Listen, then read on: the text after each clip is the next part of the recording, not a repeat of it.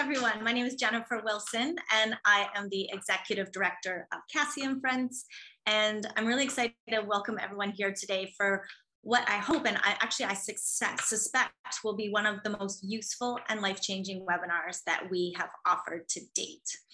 And that's because that we know all too well that the pain and fears surrounding needles of any kind, from home injections to IVs to blood draws, can cause considerable pain and be traumatizing, not just for the child, but for everyone involved. So if you are here tonight in anticipation of starting injections or really struggling, um, I just wanna share that the good news is that um, we have some amazing help here to try and turn that story around. Today, we're partnering with an organization called Solution for Kids in Pain. And their mission is exactly that to empower kids and families with evidence based solutions for children's pain. And what does that mean? That means putting everything we know and have learned from research right into the hands of kids, families, and clinical practitioners um, so that you can have these strategies available to you to help you and your family in the clinic, at the lab, and in your homes. I just wanted to quickly thank our sponsors before we got started as well. Um, in partnership with the Arthritis Society, Nicola Wealth Management, AbbVie, Amgen, and Sobi, we're able to keep working towards our vision of a pain-free future for kids. And while we work on that vision through our research programs at Cassie and Friends, which our donors support, we're also building out uh, extensive resources to help kids and families like yours manage pain and um, really just cope and have the best experience you can um, managing chronic disease at home. So one of those resources is our virtual education library filled with really every topic that is important that families have told us matter to them or that they struggle with. Um, and there you're not just going to find expert information like this talk here, but you're also going to find the real experiences of patients. Um, so stories, you're going to find indexed questions and answers from parents, tips from youth, and also templates that you can use uh, for school with coaches. And these are all resources that have been co-created between healthcare and families. So um, we're really excited about the wealth of information and I really encourage everyone to visit our website at cassieandfriends.ca on any issue um, that you're currently facing. Um, I also wanted to um, just really highlight that your experience is so valuable. And so I'm really excited to introduce everyone here in the room today. Um, we have over 52 cities represented across Canada, as well as five countries uh, around the world uh, attending this webinar here today. So we always try and get started by encouraging everyone to introduce themselves uh, using the chat function share whatever you're comfortable with. You could share your child's age, diagnosis, where you live.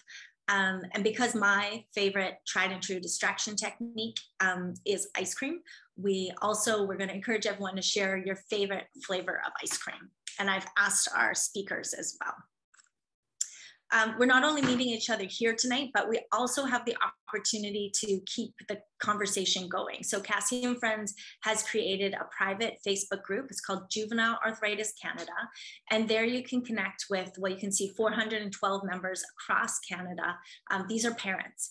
And we know that, of course, the nurses and your pediatric rheumatology teams are your main source of information, but there's really something about being connected to other parents who just get it, who can offer tips and strategies or just listen.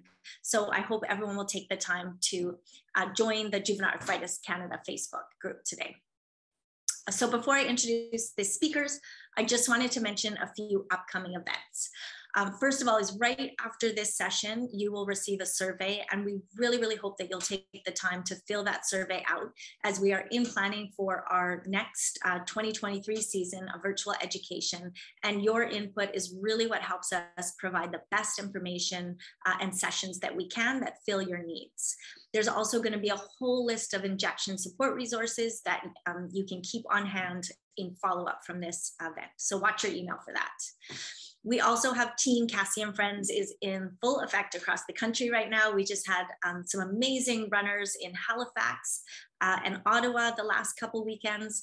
Um, Vancouver race is coming up. And then through the fall, we have London, Edmonton, Toronto, and more. So uh, Team Cassie and Friends is our main fundraising um, event of the year, and it's really great way to raise awareness, get involved. And there's a lot of times when a child's rheumatic disease can feel very helpless or hopeless or helpless, but this is something we found that we can do together. And it's been making a real difference in terms of Cassie and Friends being able to work across the country with kids, families, and healthcare teams. Um, the last is we have some pretty exciting youth programming underway. We just held a really amazing youth vision session uh, last weekend, and um, some of the programs that we'll be launching are a youth mentorship program and a youth ambassador program. So we hope you'll watch out for those as well. Um, lastly, one of the highlights of summer um, for many families in our community is the Arthritis Society camps. So we have all of the dates that camps are running on the screen there. And we really encourage you, uh, if you haven't yet, um, to visit the Arthritis Society's website and uh, register for camp. Um, the youth that have gone to camp uh, just can't speak highly enough about it. And we're really excited and thankful for this opportunity. Uh, lastly, if you have a question anytime during the session, there is at the bottom of your screen a Q&A a button. Um, so you can just enter your questions in there. At the end of the presentation, we're going to bring all of the presenters on live together and address all of the questions.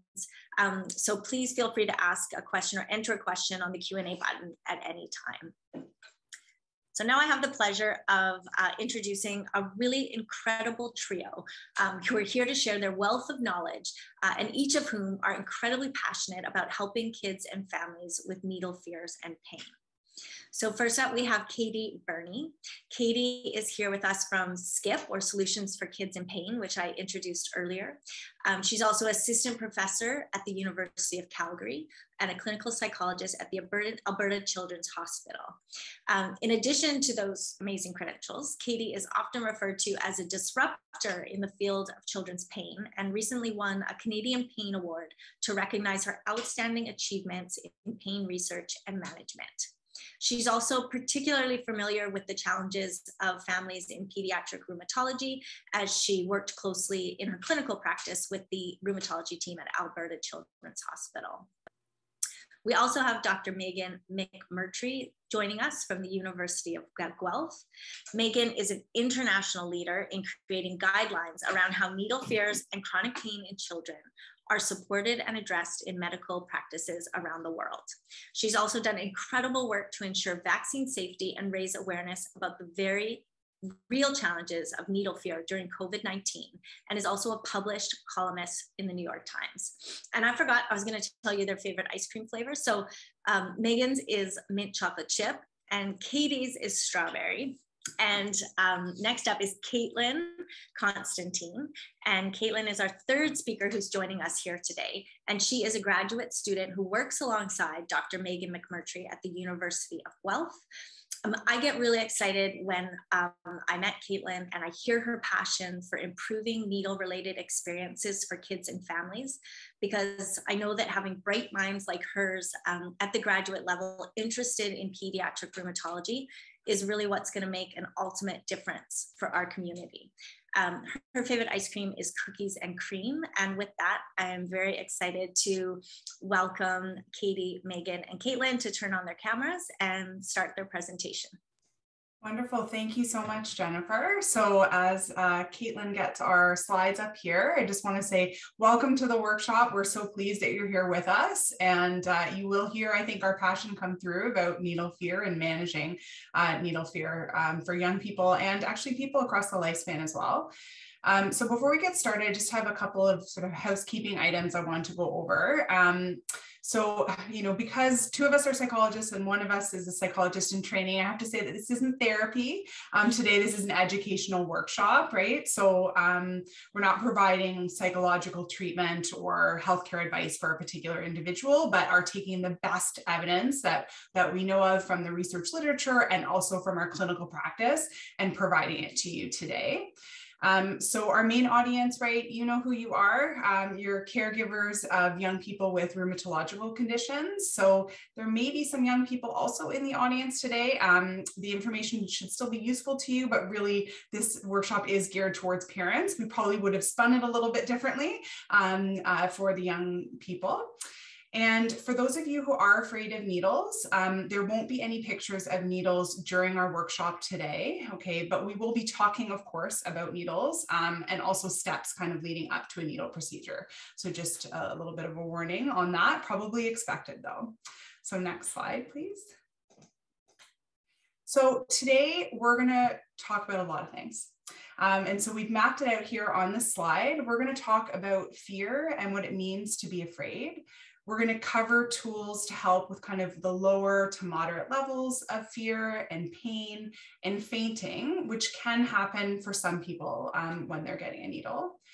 We're going to then talk about what helps with high fear, um, and the most important uh, tool being um, facing our fear, or what we can call graduated exposure.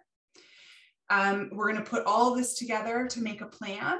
Um, Katie's going to talk to us about dealing with anticipatory nausea towards the end. We'll, we'll wrap up with some resources and then we're going to have that Q&A um, session that Jennifer spoke about. So I'm going to turn it over to Katie for the next couple of slides. Awesome. Thanks so much, Meghan, and thanks to Jennifer and Cassie and friends uh, for having us here this evening and looking forward to the question and answers with all of you as well. Um, we just also want to touch on what are we not going to talk about because uh, we think that's just as important as what we are going to talk about. Um, as psychologists, you know, there are different decisions around types of injections you might be getting um, or how kind of the very practical components of, you know, how to um, put the medication in a needle or the injection technique itself. So those are just things that we're not going to address that we know that um, often within rheumatolo- rheumatology clinics, um, or other care, those are best covered by nurse educators um, and others within the clinic as well. And it's just kind of beyond scope of what we often touch on as psychologists. So we're really going to focus on how do you deal with those needle fears? How do you deal with needle pain? Um, and how do you deal with um, uh, side effects such as anticipatory nausea that come with certain medications. Um, but there's lots of information there as well as uh, at your uh, clinics where you're followed um, for some specifics uh, around um, injections. The other things we just won't touch on today, um, uh, sorry, needle procedures across the lifespan. What are they used for? I covered that stuff. Um, lots of different things, right? So many of you uh, know this. They're covered um, to diagnose or rule out certain medical conditions. So they can play a really important role there. Um, they're often really important to protect oneself or to prevent the spread of infectious diseases such as uh, vaccinations, immunizations. Um, they can provide medication for treatment, often the case uh, in, in a different rheumatological conditions. So could be injections, could be um, IVs or infusions uh, that might require um, needles to obtain medication. And they can also be used to monitor response to treatment. So blood draws, right, that we might going to look at different markers within the blood of um, how much medication someone's getting or what impact it might be having on immune response or other responses within the body.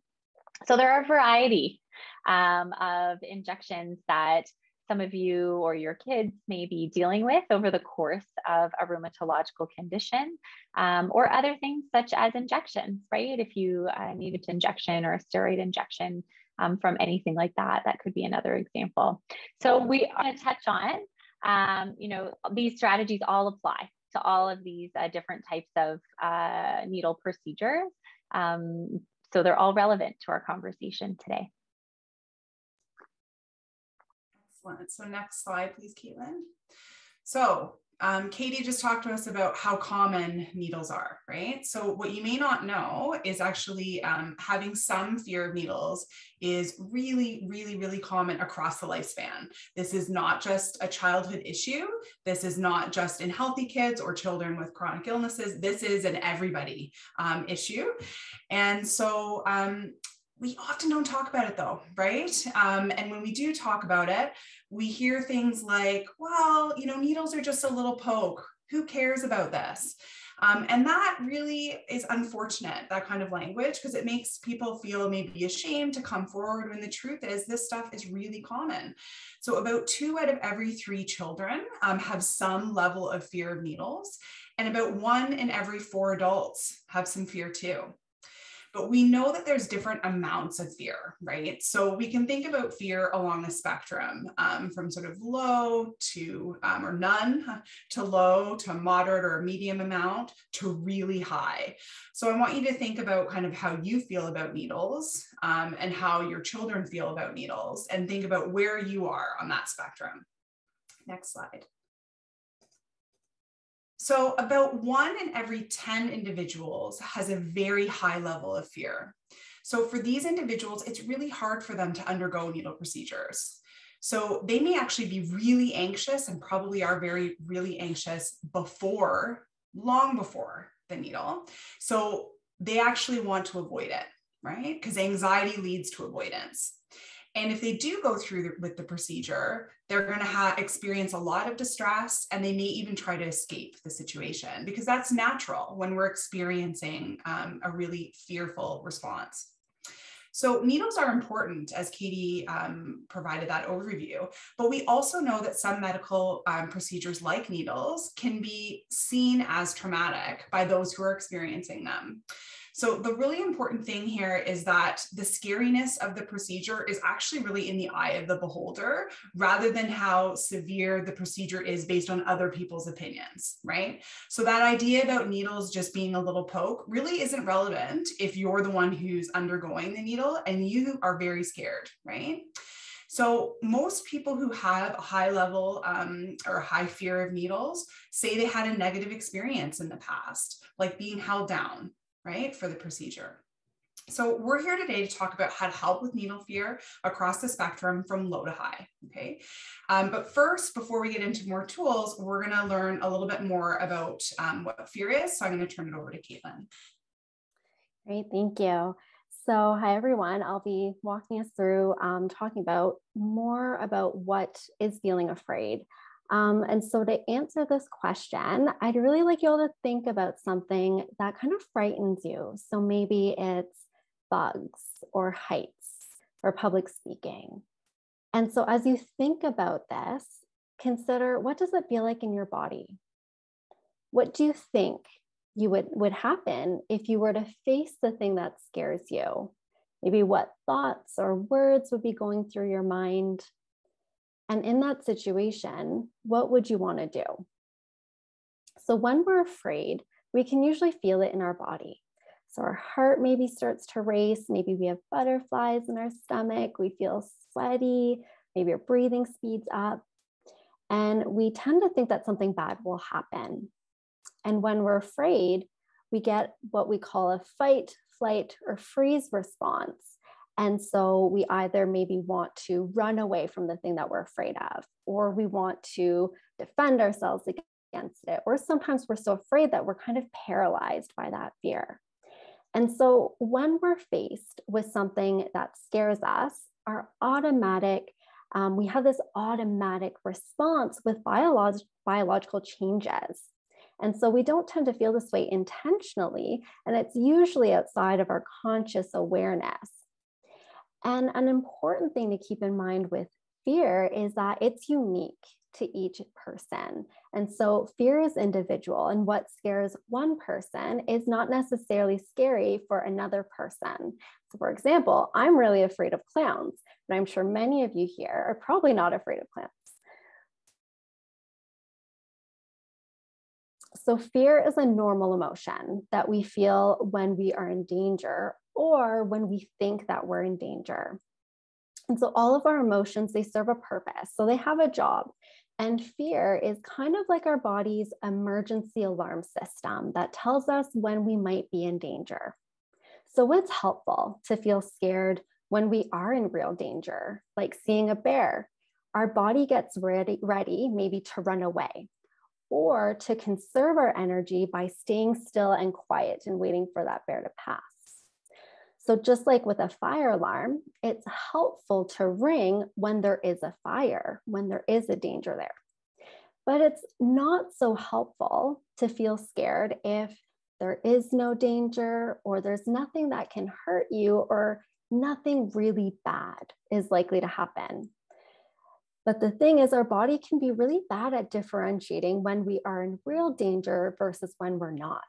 And some people have a really sensitive body alarm system that goes off at any small sign of danger. And they can feel afraid when there's no real danger, or they feel more afraid than they need to be. So it's kind of like a false alarm, sort of like when a fire alarm rings from burnt toast or taking a really hot shower.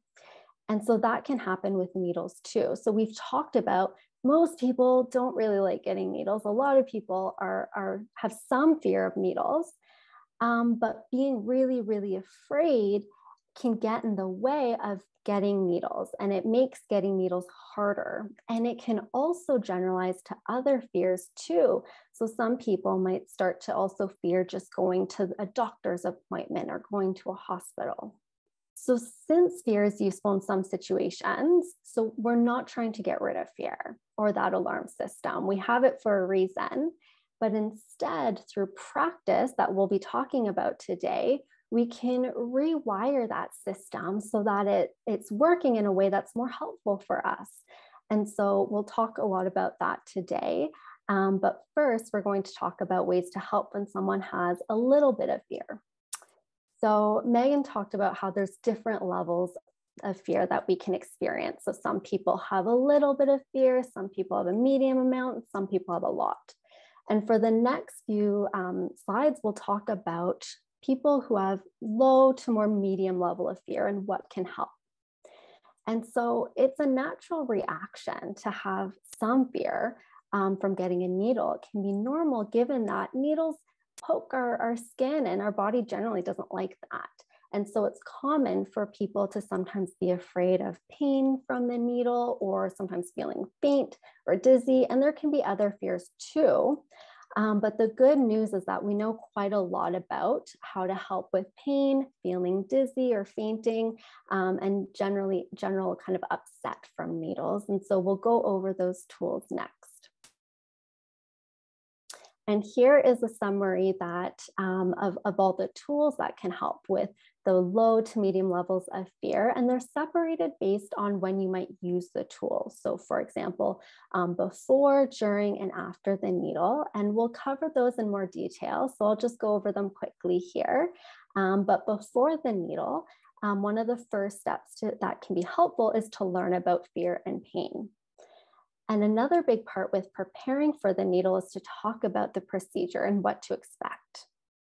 Making a plan is also a good idea to do before the procedure, and this can include tools that we go over today.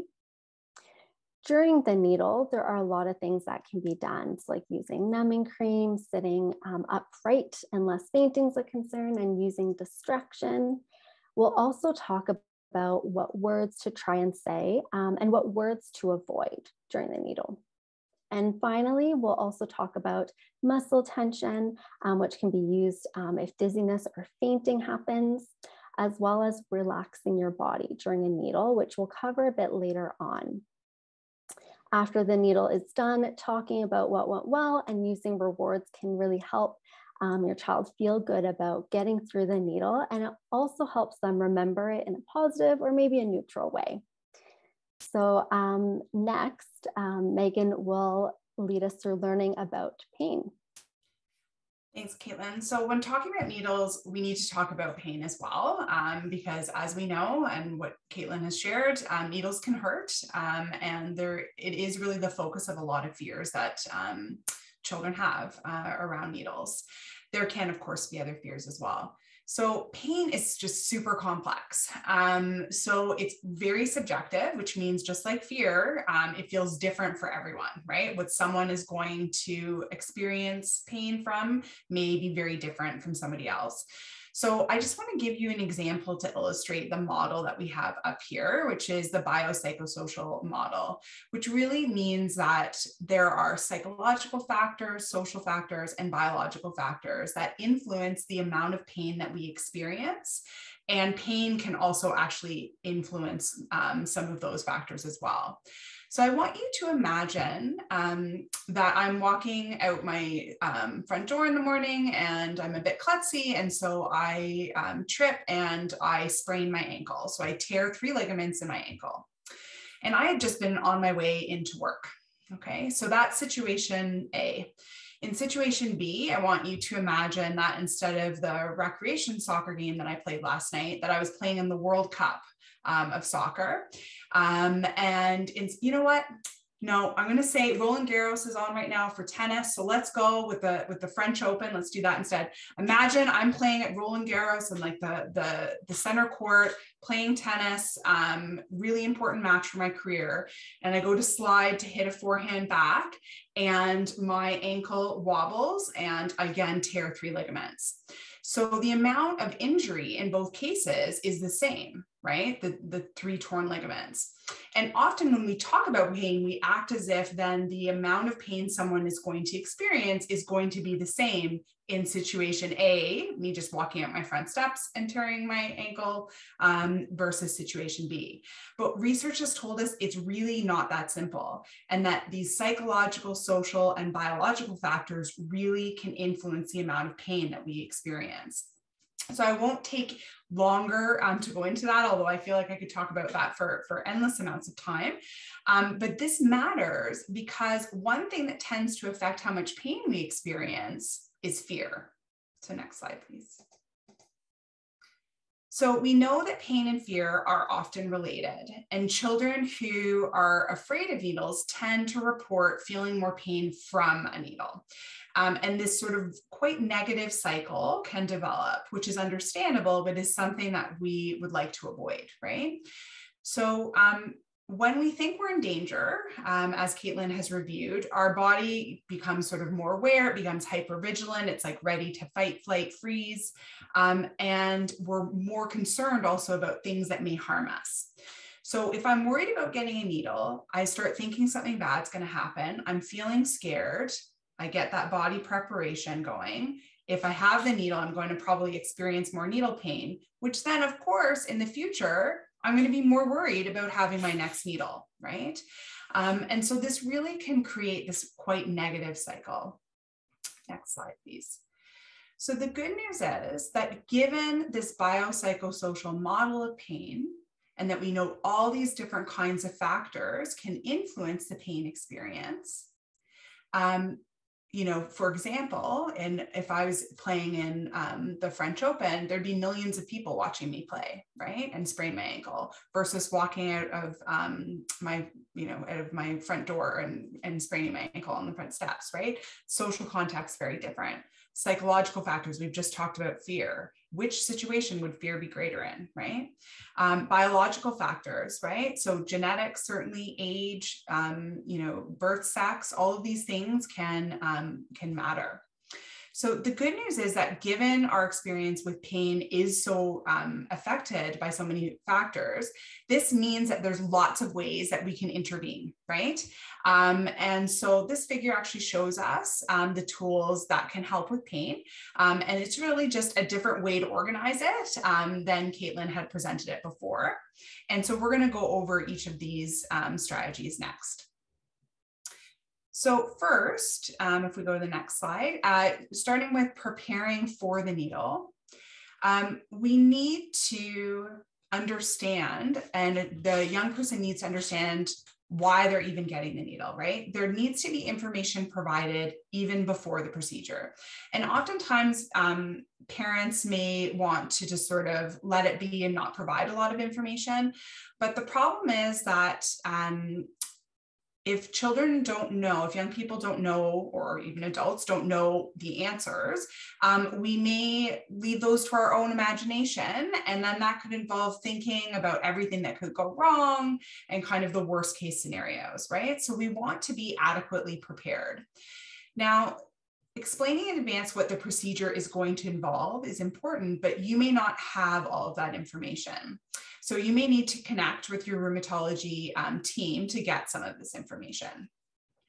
So we've provided some information on the slide here and I'll go through it, but there are differences depending on your child's age or developmental level. So how you would prepare or explain a procedure to a four-year-old is clearly not the same as you would for a 12-year-old or even, you know, 17-year-old, for example.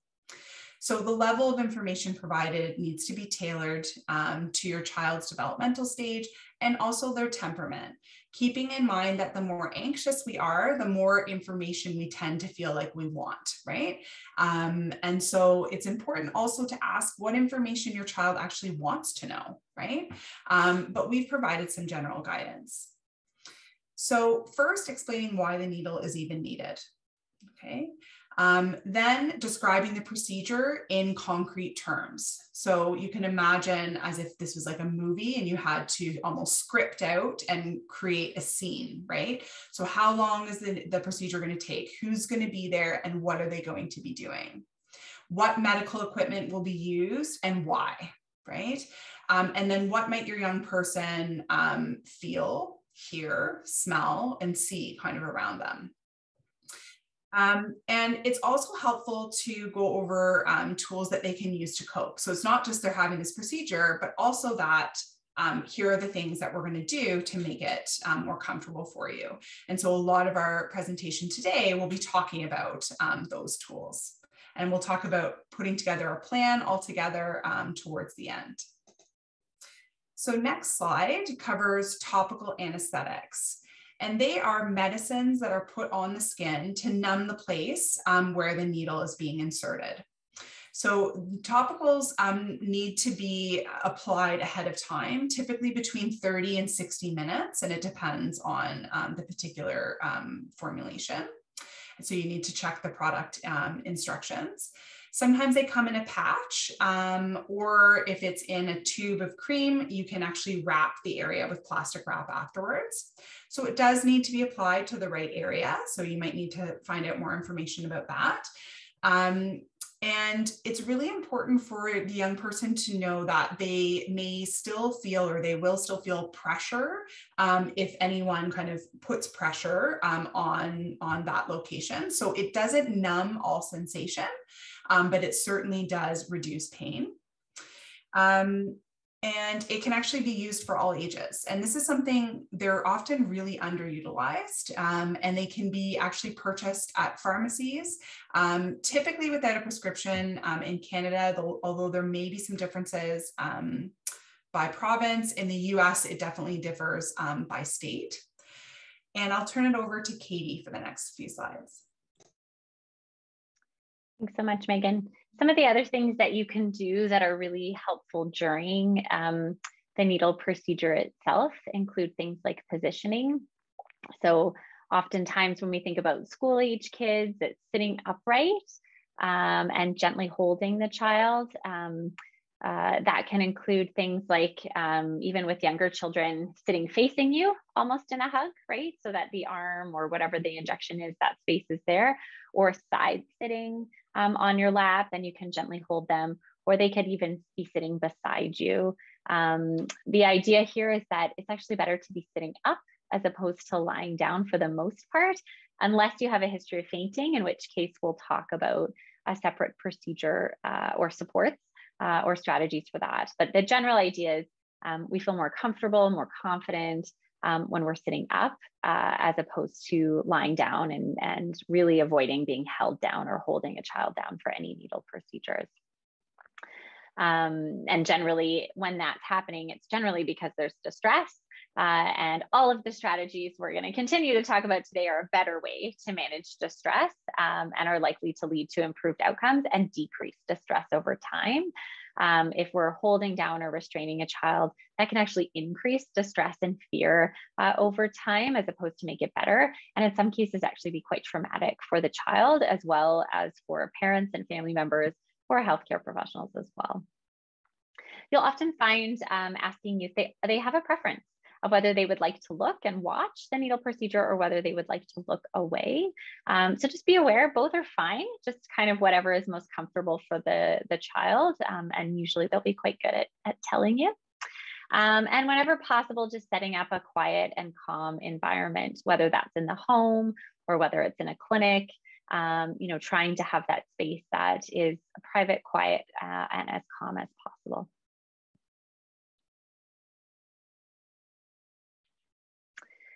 One of the other strategies that is particularly helpful uh, for pain management is distraction. You'll see that this strategy um, alone is, is not sufficient when you have higher levels of needle fears. Um, so just be aware of that. Um, but what we know is distraction is actually the most widely studied approach um, uh, from a psychological uh, strategy for needle pain management um, for any type of needle procedure. And basically, the way distraction works is your brain can only pay attention to so much.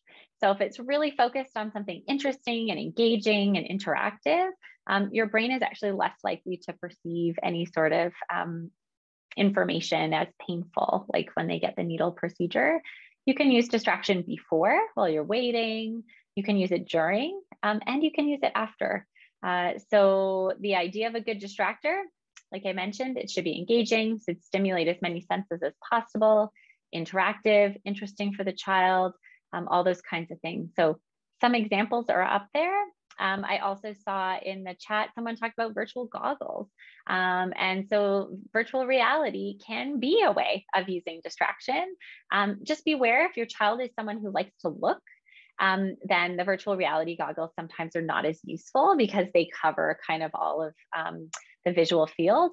But if that doesn't bother them, they don't feel like they need to look, virtual reality can be very immersive, very engaging, um, and very enjoyable and effective as a distractor.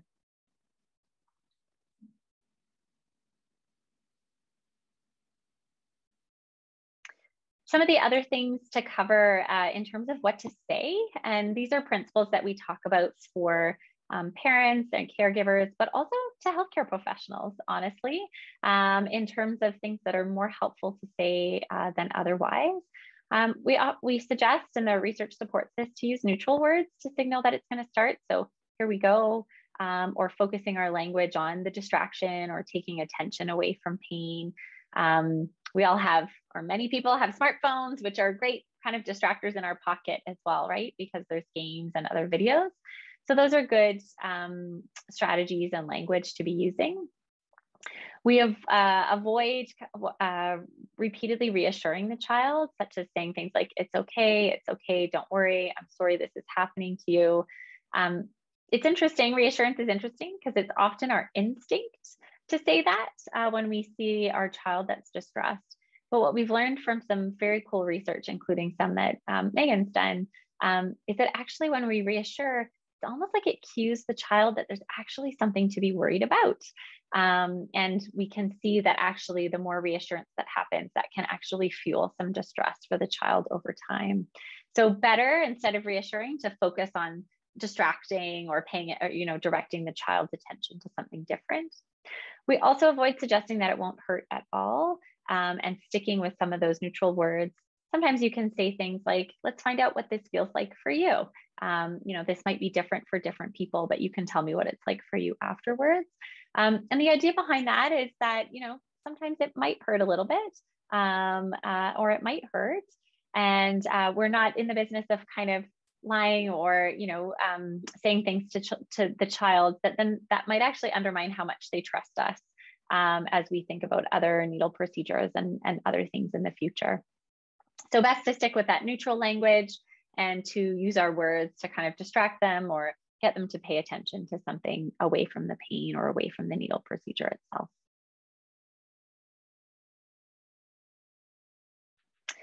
and what to do afterwards. You're not done. And often, with all of your uh, children or youth living with rheumatological conditions, it's not just a one off needle procedure, right? There's often repeated ones that can happen, um, uh, whether it's injections or blood draws or otherwise. And some really great research suggests that what we say after the fact can actually make a difference for how's next time. So, better focus on positive aspects of the experience. This doesn't mean unrealistic or kind of pie in the sky. What it means is focus on the things that your child did well. Um, maybe they sat still, maybe they kept their arms still, um, maybe you saw them using their distraction strategies. Um, or you know some other strategies we'll talk about today um, and that can help them remember the experience in a more neutral or more positive way and that actually predicts less pain and less distress um, at future procedures. Uh, you can focus on bravery and just catch any exaggerations, right? So the child says, Oh, the needle, it was this big, you know, actually being able to draw that back to something that's that's more realistic um, to, so that they remember it in kind of that uh, more realistic or more neutral or pause way. Um, and avoiding pain and fear related words. Those can become part of their memories, which can then kind of increase pain and distress uh, at future procedures as well. Okay, so next I'll be talking about dizziness and fainting, why it happens, and what we can do about it. So, some people, when they get a needle, they might feel really dizzy, lightheaded, sweaty, or maybe like they're going to throw up. And some people faint or, or pass out from needles. And so, why does this happen? So, fainting happens when someone's blood pressure and heart rate speed up really, really fast and then suddenly drop.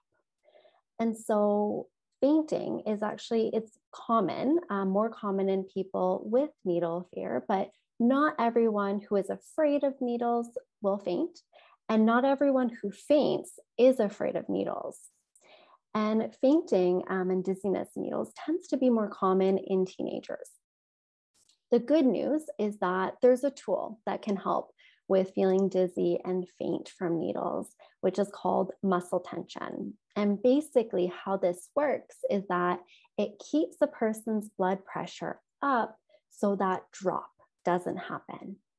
And so, this is a tool that can be helpful in those who have a history of fainting or dizziness. And it's safe to use in kids who are um, seven years of age or older, teens, and adults.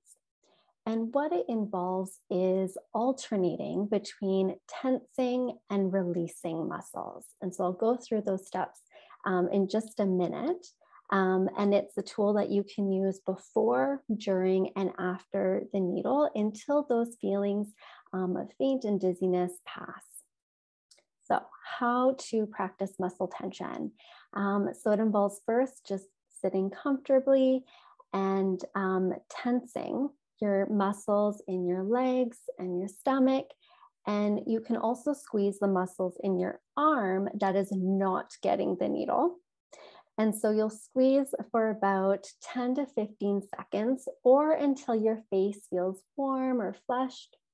And then you release the tension for between 20 to 30 seconds. And so, an important piece here is that you release the tension, but you don't want to fully relax your muscles because remember, we want to keep that blood pressure up. And so, relaxing muscles can actually decrease heart rate and blood pressure. And so, it's important to alternate between tensing and just releasing that tension. And so, you'll repeat that until the procedure is over or until that um, feeling of faintness um, passes. Okay, so we've now covered the tools for low to medium levels of fear. And so we wanted to just take a minute and have um, you reflect on whether there are any questions um, about this section so far. And if so, to please enter them into the chat um, and we'll cover that during the Q&A period.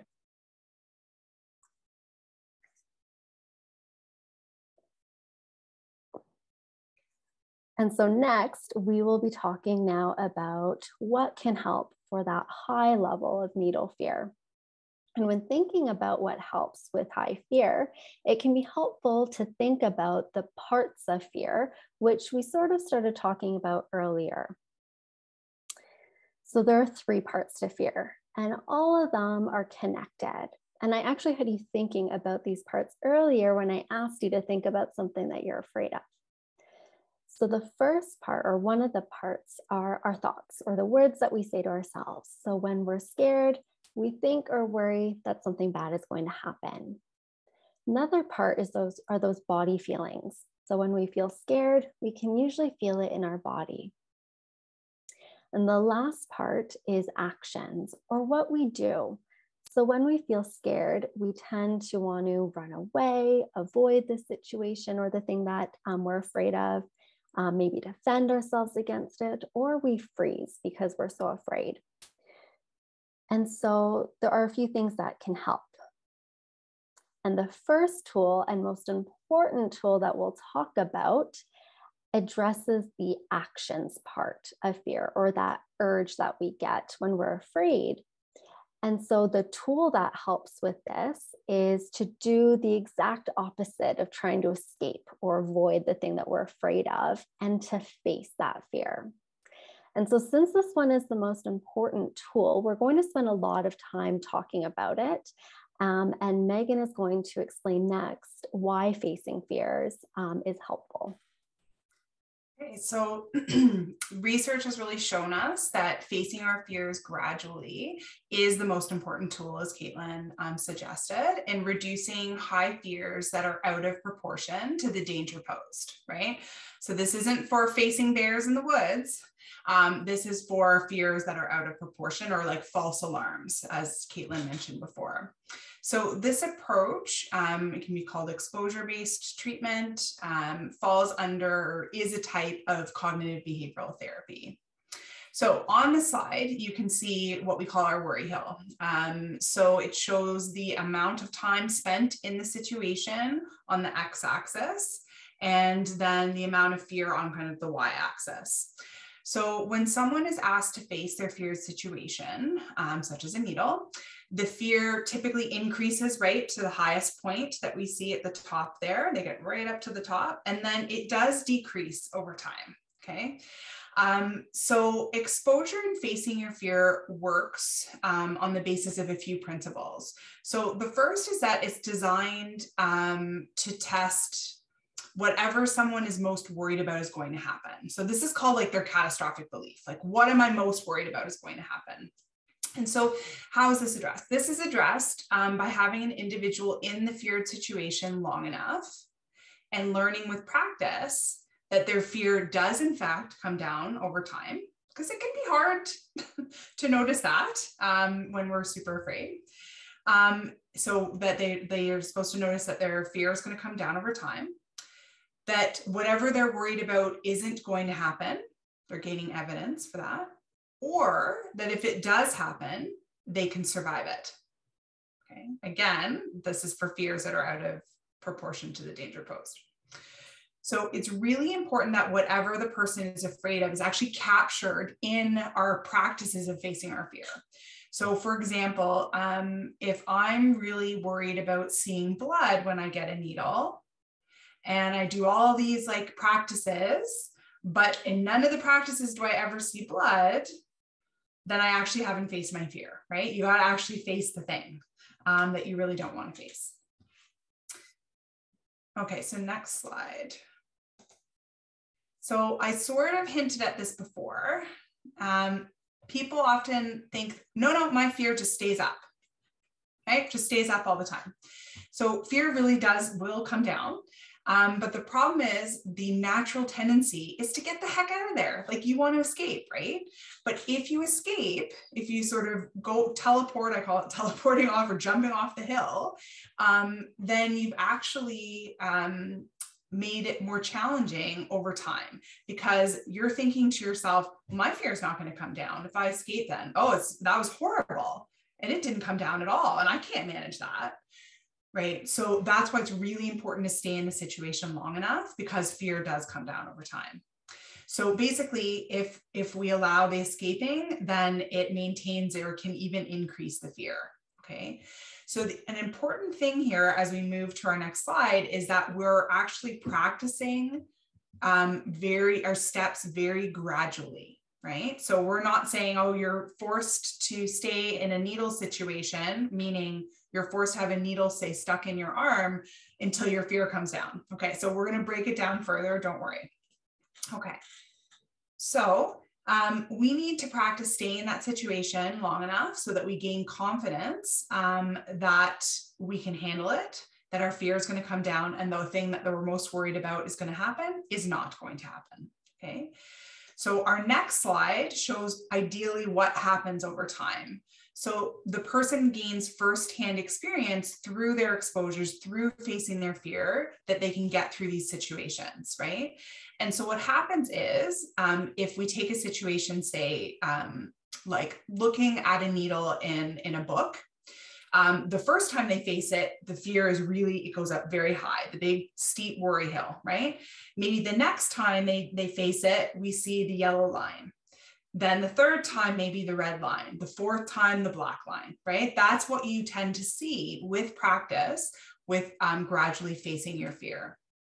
So we're going to break this down a lot more, and I'm going to turn it over to Kaytlin for the next part.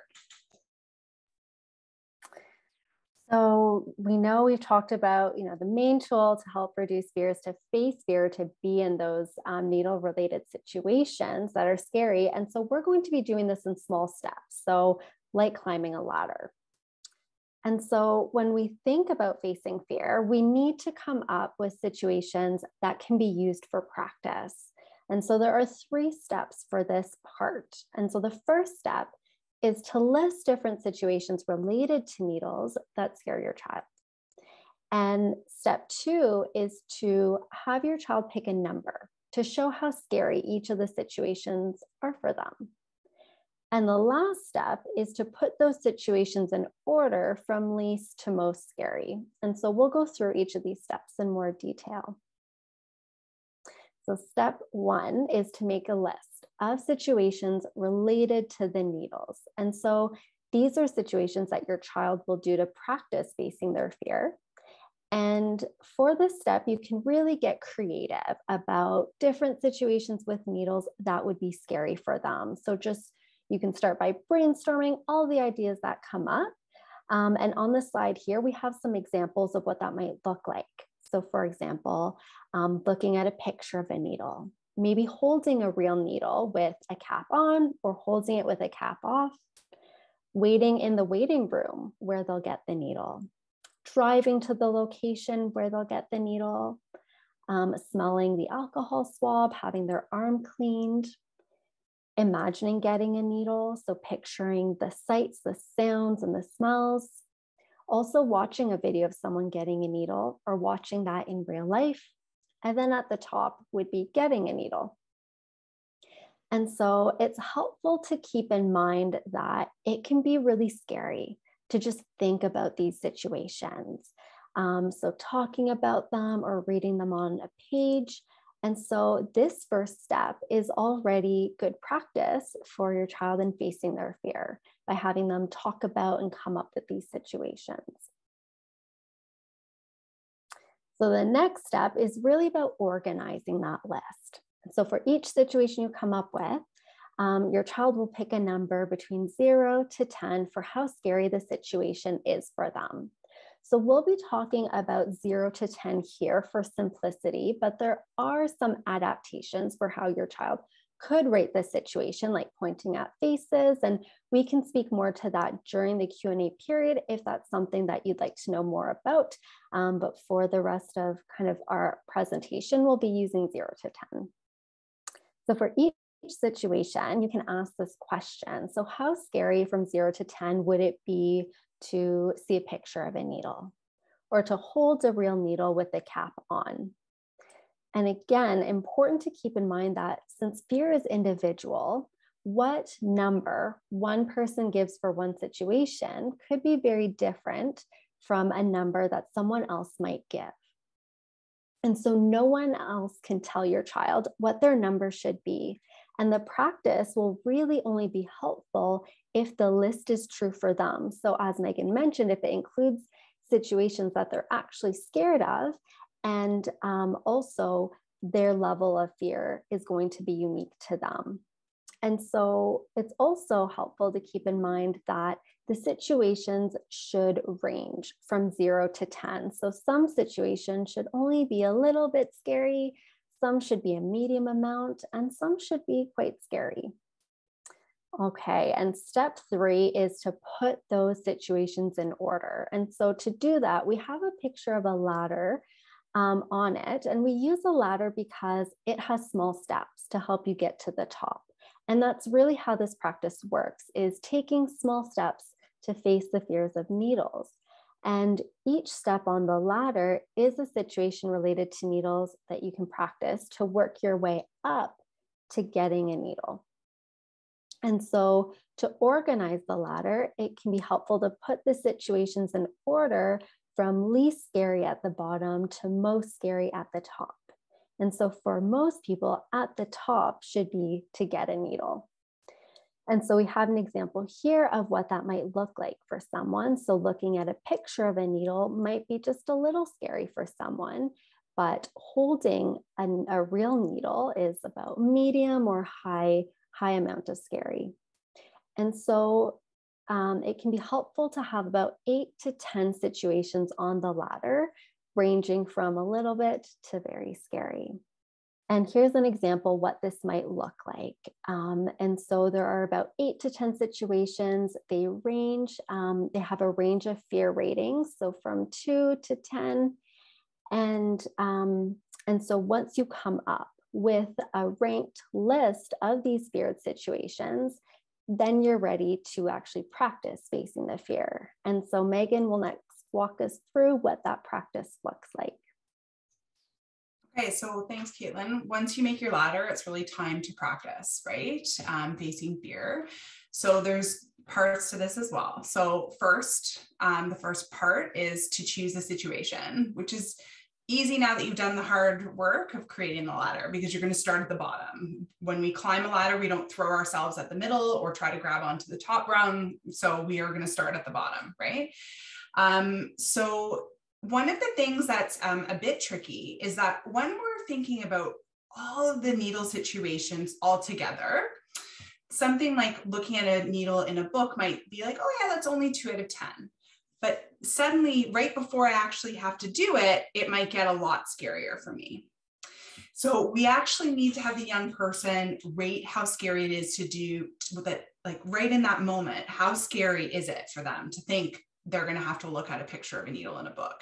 So I understand before there are different ratings that were used to order the ladder. Those kind of after you've ordered them, they kind of get put aside. And then it's really about okay, for you at this moment, what is it like if I asked you, if I said, you know, in the next minute, you're going to look at a picture of a needle in a book? How scary would that be for you from zero to 10, right? So they rate um, how scary it would be before starting the practice and then they actually face their fear. So in my example, um, then they're looking um, at a picture of a needle in a book. They are again stay in the situation until the fear goes down um, or it really doesn't feel scary to do at all. Um, and so for younger kids you know parents can help by checking in um, about how scared they're feeling during the practice to know when the practice should be over. And you can pay attention to of course to body language right?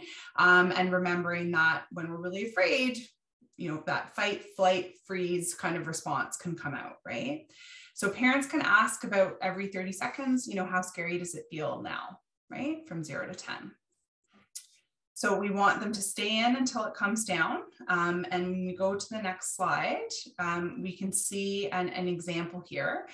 So the um, it's ordered again, um, say from, from low to high.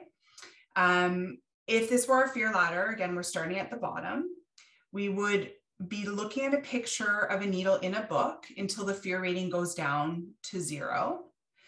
Um, probably for the next step, looking at a picture, say, of, of someone else getting a vaccination, we'd want that one to go down to zero. Once we start getting into the middle and higher, we probably want the fear ratings just to go down by half.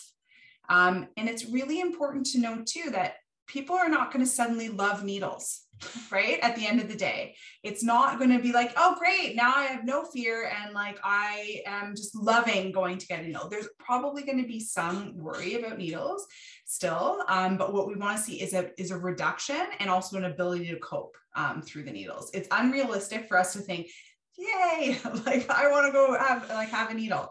None of us probably feel that way um, so it's not fair to to have the young people expected to to do so so um, yes, for the lower situations, you want to go down to zero. For the sort of um, upper ones, middle and upper ones, you want to go to half. So um, if it was rated as an eight before the practice, you want to go to a four. Now, remember that you may have to practice these situations multiple times. So no one said you're going to go step one, looking at a picture, and then immediately to looking at a picture of vaccination, step two, within the same practice, right? You may have to practice the same step repeatedly okay, until it's not um, fear inducing anymore. Okay, next slide, please. So this is tough, right? Like listen to what we've just been talking about. We're what we're asking these young people to do. And frankly, this is also tough for parents. And this involves a lot of work and energy, right? And I, I can see Katie nodding, right? She knows. Um, and for any of us who've actually done this with our, you know, with our clients, um, maybe with our own children, um, this is this is tough work. So we focused here on rewarding your young person, um, but I would happily extend that also to rewarding yourself um, for, for hard work. So for all of us, when we're trying to do something that's difficult for us, we may need a little bit of an extra push and rewards can help here. Okay, so next slide. Um, we all like being given praise, right? It makes us feel good um, and more likely to do the thing that we were just praised for again. So with rewards, we're always pairing the rewards with praise. Okay, so we don't give up on the praise, we keep that. Um, so pra- uh, rewards motivate us, motivate us to do hard things. Um, and they can be really small items um, from the dollar store, for example. They don't have to be expensive. They don't have to cost money at all. It could be time spent doing a preferred activity with you. In fact, that can be some of the most rewarding um, types of, uh, or the best types of rewards to choose, actually. So it could be, you know, time to go to the library, playing a card game, playing a family, um, you know, having a family board game night, choosing the movie for a movie night at home, all sorts of things, choosing the dinner. So it's important though that the that your young person is interested in the reward right? So we can come up with our own rewards that we think would be good but ultimately the young person has to be um, interested so that they're motivated to work hard right? We want to go after small frequently earned rewards.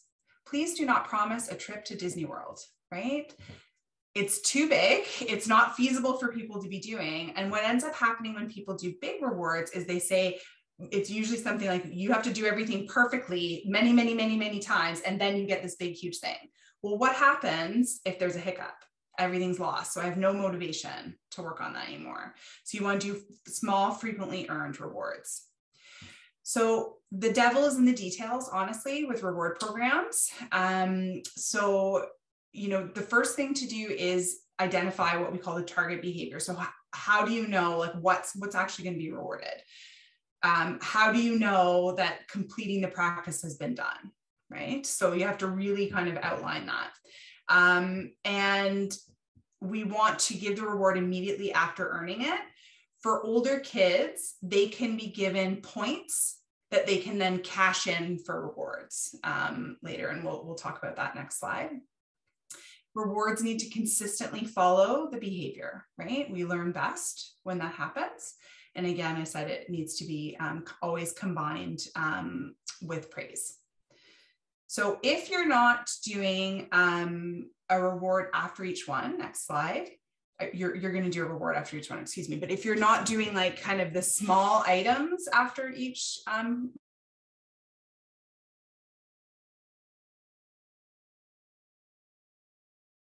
um, um, for rewards. Okay, so you probably may have used these things for other behaviors um, with your young person. And reward programs really are not meant to stay the same over huge lengths of time. They're meant to change and shift depending on kind of what, what your young person is sort of ch being challenged with. Okay. Um, so rewards are going to vary by the individual um, and really remember that time with you or time doing things as a family and, and those sorts of things can often actually be very rewarding. It does not have to cost a lot of money. Okay, next slide. So having worked with um, uh, a number of youth with, with needle fear and families um, to face their fears, there's a lot of common questions that come up from doing these practices. Um, so we've listed some of them here.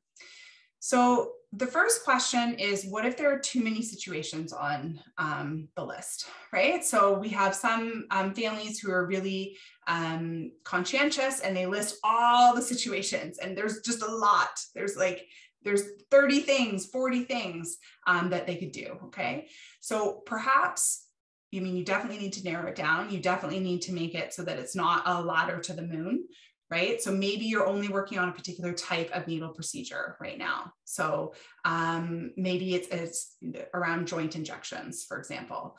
Um, you can also, if there's multiple situations that are given the same number that are sort of around the same level of fear, you don't have to do all of them necessarily, right? You can sort of maybe eliminate some of those other ones. Um, the flip um, issue often comes up too. What if there are not enough situations on the list? Okay, so um, we can actually break the, down the situations into smaller parts. Um, you can do that by um, being very creative in terms of thinking about like what is everything that kind of leads up to the actual needle, right? Um, and then what are some things that need to be varied maybe within that? So location, is it at home versus at the clinic? Is it the people present? Is it who's actually doing the injection, for example? Um, and then just even in terms of like the needle itself, is it how close it is, you know, um, to your young person? So we've done this actually within my lab, and we've come up with like like two pages or three pages or four pages of situations, the way that we can kind of break it down. So um, if you if you're ever struggling, reach out, or maybe we're going to give this as part of resources um, because we certainly have brainstormed a number of these. Uh, next question is how often to practice. So the more practice, the better. Um, and so you need to aim for at least one practice a day. There is evidence in the research literature that um, you can actually do longer periods within a single session of exposure of facing fears um, and actually make significant progress. But that's hard work. Um, and I think, you know, the young person really has to be motivated to do that because otherwise that could just be really um, very difficult. But we want to make steady progress, right? And so if you practice one day and then don't practice again for a few days, you might feel like you're just starting from scratch or starting from the beginning each time. So try for at least one practice a day. Next slide.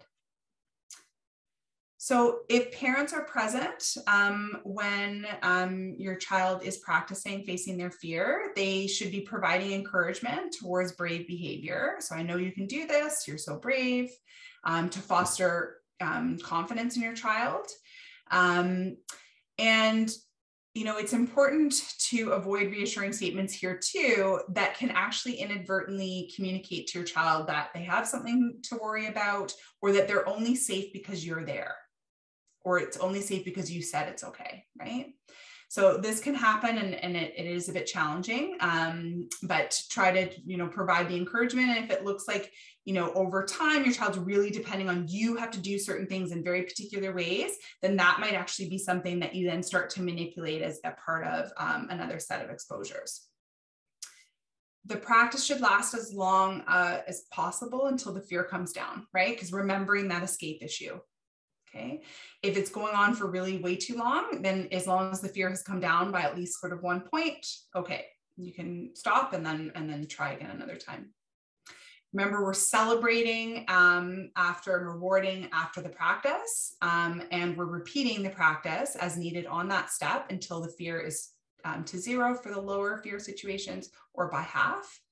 Um, and it may help to actually visually track progress um, for for the young person. They may actually want to have posters up about what they've done and like how well they've done on things, right? It may actually help them. Um, we often get asked, when will my child be ready um, for a needle? It's really important to work through all the steps before getting, um, actually getting the needle to give yourself the best sort of chance of success. Um, so we don't do all when we try to jump to the top of a ladder. Same thing if we're trying to skip a bunch of steps, it, it really, it tends to put you in a, a difficult sort of situation. So they need to complete all of the steps. Sometimes practice feels too hard, um, even at the bottom step. So if it just feels like you can't even get started, put on your sort of creative thinking hat again and modify the step, not avoid it. Okay. Um, so try to make it in some way less scary, but still complete a step. And then, you know, then you have another one kind of in your back pocket for the next um, kind of exposure that you need to do.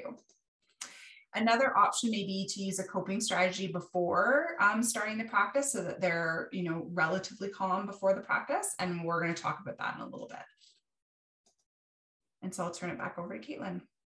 All right. So, to kind of recap a bit of what we've just been talking about, really um, practice facing fear, being in those um, situations uh, related to needles that are scary is really going to be the best tool um, to, to reduce that fear.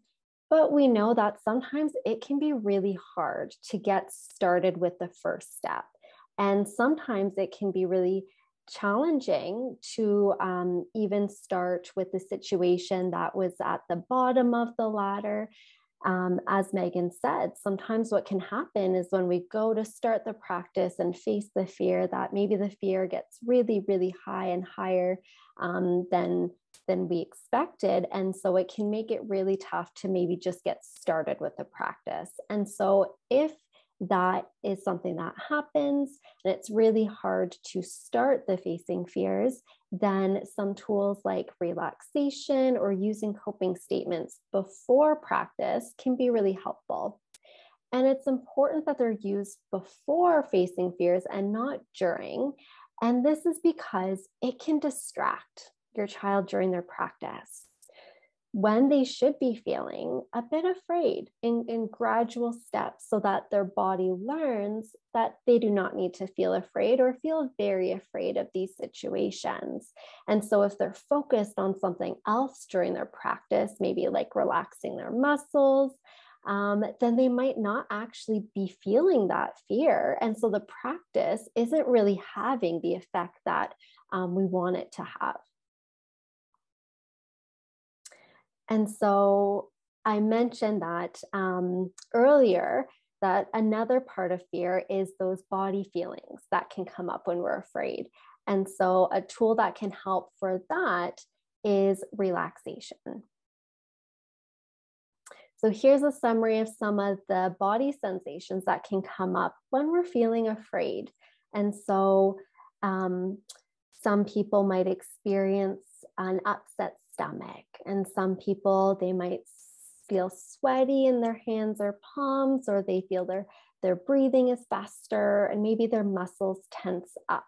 They feel their heart breathing really, or heart beating really fast. So when these ha- things happen, there's a few things that, um, a few tools that can help with this.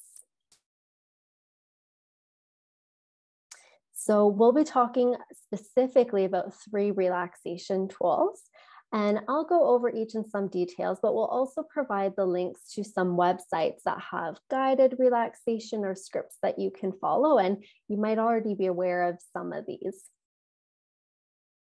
So the first is deep breathing. So what this involves is slowing down your breathing by inhaling slowly through your nose and out through your mouth.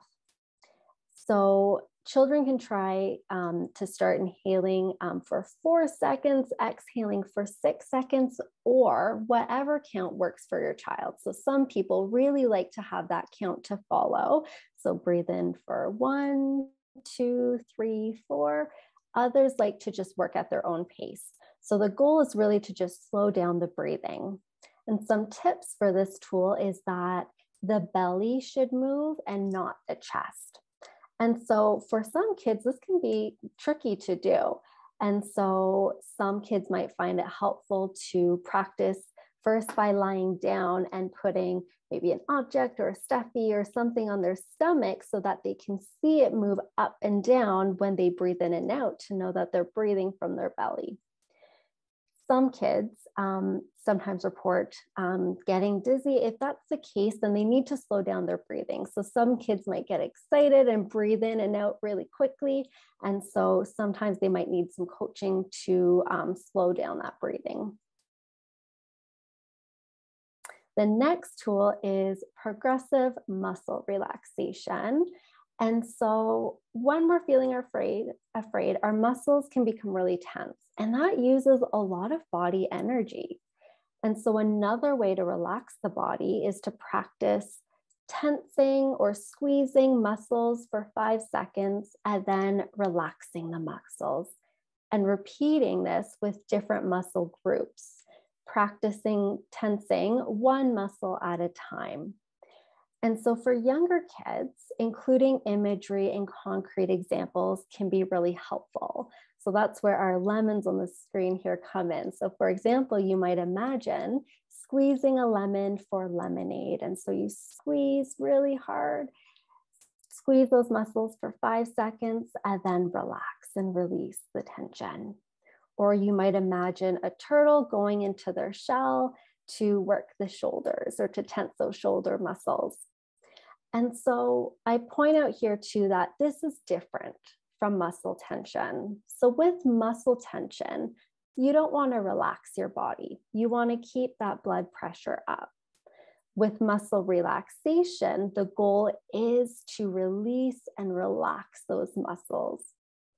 And so we have also more um, details in, in our handouts and the slides later on um, about these differences and where to get more information. All right, and the last um, relaxation tool is a mental vacation or guided imagery. So this can be a really fun way to relax by using your imagination to create pictures in your mind of a place that is peaceful or calming. So it could be a place real or imaginary, or a picture of something um, that you like. And so some examples could be um, in a forest, at a beach, river, lake, mountains. Um, it can be, can, you can get really creative with this. And so there are some guided imagery audios and scripts that can be followed, but um, you can also have your child choose a place and really encourage them to be detailed because the more detailed they can be, the better. So, having them really engage their senses and what they might experience, like what they might see, what they might hear, smell, or taste in that um, happier, peaceful place. So here's um, a summary of some resources that you can consult with um, to get some guidance um, with relaxation um, through scripts, audio files, videos. And so the list here, they, they present similar information, but in different ways. Um, so you have a web resource as well as some apps. Okay, and then the last tool that we will talk about um, for high fear is, um, is challenging and changing thoughts. And so this tool can be really helpful for kids who have a lot of worries or unhelpful thoughts about the needles. So the way we think about a situation is quite powerful in shaping how we feel and in turn what we end up doing in the situation. So our thoughts can be helpful when they're realistic, balanced, and include both the difficult and the pleasant or encouraging parts. So, for example, I'm feeling scared for this needle, but I can take a deep breath and I can take a deep breath. So, thoughts can also be unhelpful. So, like when our thoughts are maybe not true, or when they make us feel stuck in feeling scared. And so, it can be helpful to determine whether a thought is helpful or unhelpful by asking um, the questions on the screen here. So, what is the proof that the thought will come true? How many times has it happened before? Am I 100% sure that it will happen? What is the worst case scenario? Best case, most likely. And so, if there's little proof that the thought will come true, it has never happened before, and it's not 100% certain, the thought is probably unhelpful and it makes sense to change the thought. And so we'll talk more about that in just a minute. Um, but sometimes our thoughts are not completely wrong, but they're still unhelpful or they keep us feeling scared. And so, if that's the case, it can be helpful to problem solve. So, if that worry did happen, what can I do? So, sometimes it involves getting answers like, what's the reason? For the needle or you know how does medicine work in the vaccination that i'm going to get? Another option is to kind of surf the worry wait for it to come down and create a plan that we'll talk about in a minute as well. So, one way to change unhelpful thoughts is to create a coping statement, which are words of encouragement that your child can say to themselves to make a situation um, less scary. So they're balanced and realistic. So, for example, I've done this before, I can do this again. This is a bit scary, and I can do hard things. So if your child is having a hard time coming up with statements, it can be helpful to have them think about, you know, what their favorite superhero or character might do in this situation or what they would tell someone else, like a sibling or a parent. And so for more um, details and information on the thoughts piece, Anxiety Canada, that web page from the previous slide um, has a lot of helpful resources on this as well. Okay, so that covers the tools for high level of fear. So again, just want to take a minute and if there are any questions that came up from this section, we encourage you to pop it in the chat. Um, but uh, Meghan will next walk us through making a plan. So um, yes, I'm gonna actually, we're gonna email out the slides for, for making a plan. So I'm gonna go over these pretty quickly because it's more important for you to have templates or see the templates so that you can use them for yourselves. But so basically, we've learned a lot about um, fear, pain, dizziness, and fainting, and lots of tools and strategies to help. Um, so you might be thinking, what do I do with all this information? Um, and so our answer is make a plan and think about what would be helpful um, for you to do and for young your young person to do, um, or what you need to know um, before getting a needle. So the next slide shows some examples of what tools we can use to make needles less scary and what tools we can use to make um, needles hurt less. And so the plan can be, um, you know, made with your child, or if they're older, they can do it themselves, um, where they're sort of choosing among these things that what they think will work for them. And remember that if high fear is present, practicing facing your fear kind of has to be on um, uh, on that plan. And then the next slide um, is an important part of um, a plan, which um, young people need to let their parents know how they can support them right? So this plan shows how um, the parents of this young person can help them. And so, you know, we know that our young people will let us know um, what is helpful and what's not so helpful um, when we're trying to help them. And so it's really important um, to kind of come up with a plan together about what works for them.